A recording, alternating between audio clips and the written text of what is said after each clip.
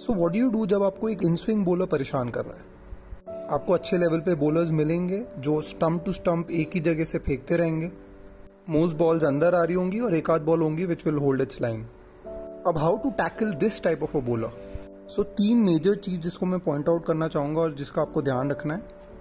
ऐसे बॉलर पे आप अपना पैर अक्रॉस नहीं फेंक सकते और कमिट नहीं कर सकते पहले।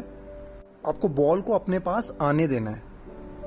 दूसरी चीज़ जो इन स्विंग बॉल आपके पैड पे आ रही है उसमें आपको कोशिश करना है कि आपका हेड आपके A few moments later. Body से आगे रहे सो दैट आप बेटर बॉल को कनेक्ट कर सकते हैं। इसमें यह भी इंपॉर्टेंट है कि ऐसे टाइप के बॉलर को आप हमेशा सीधा खेलने जाएँ या तो मिड ऑन या तो मिड ऑफ़ या तो बिल्कुल सीधा।